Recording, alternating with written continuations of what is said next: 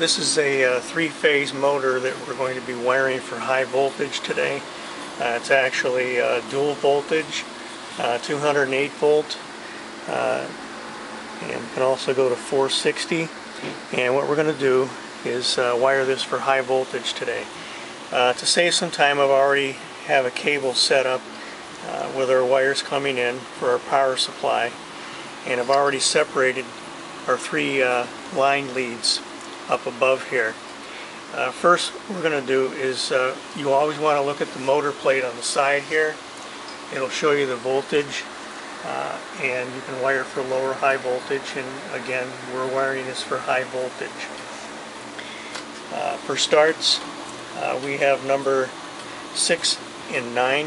The wires are all individually numbered and so I'm going to locate number 6 and number 9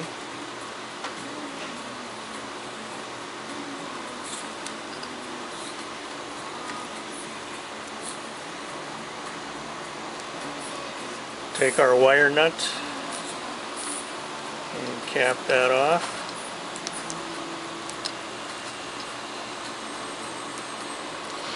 Uh, the next set of wires is number 5 and 8.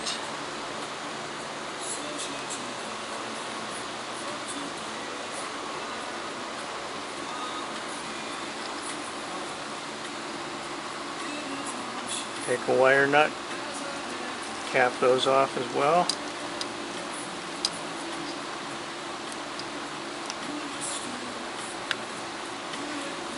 And the last set is going to be 4 and 7.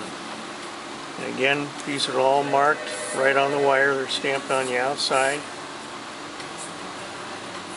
Number 4 and 7.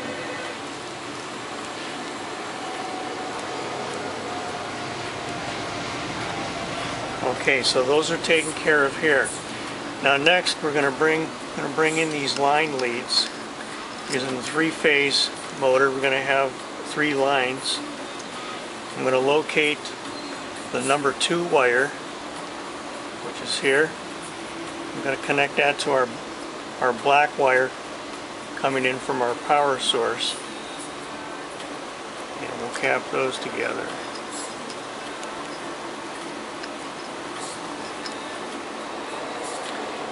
And I'm going to locate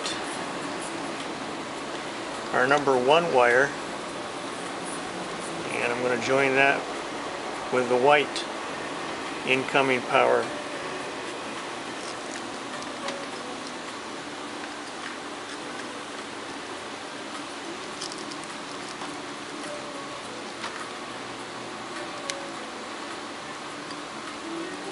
And then the last one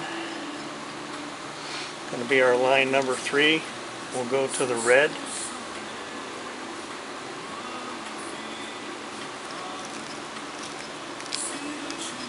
we can cap that off. We also have our ground wire which I've already got a terminal connected that'll go underneath the ground screw inside the terminal box.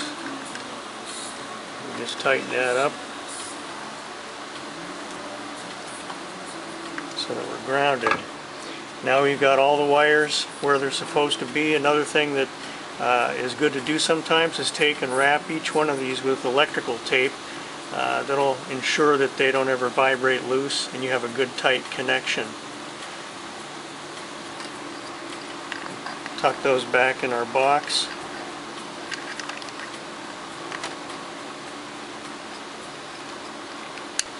And we're ready to put our cover back on.